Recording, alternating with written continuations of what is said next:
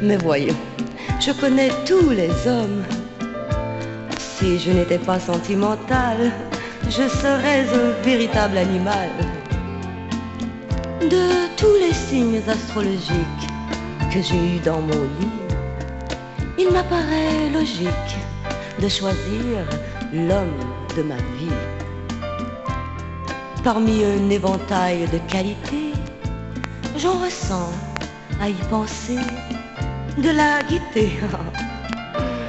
La balance me subjugua par son charme, tandis que la Vierge me laissa les armes. Le scorpion m'a hypnotisé. Le capricorne m'a étonné. Et le cancer m'a, oh, immolé. Le gémeau avec les mots. Et je prenais toujours le verso au mot. Le sagittaire qui savait se taire m'a préparé au contact du poisson qui lui ne voulait que se taire.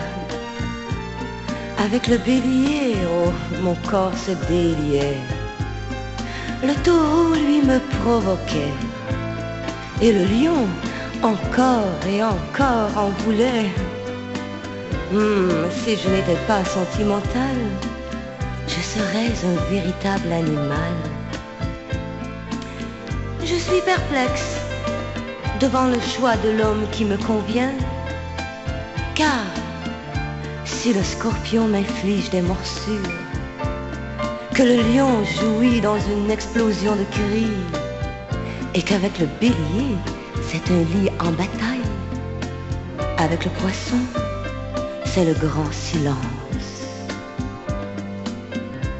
Le Sagittaire est trop sage, et vraiment, le Verseau trop conventionnel. Le taureau qui frémit si fort et le cancer qui se colle toujours à moi me fait rougir pour la Vierge qui elle rougit de rien. Enfin, le Capricorne calcule froidement gestes et mouvements.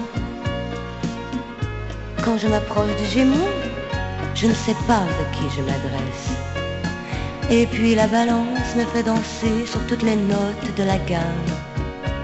Je ne sais jamais où j'en suis avec lui. D'ailleurs, hmm, je ne sais plus où j'en suis. Je vous assure que si je n'étais pas sentimentale, hmm, récapitulons, la balance me subjuga par son charme.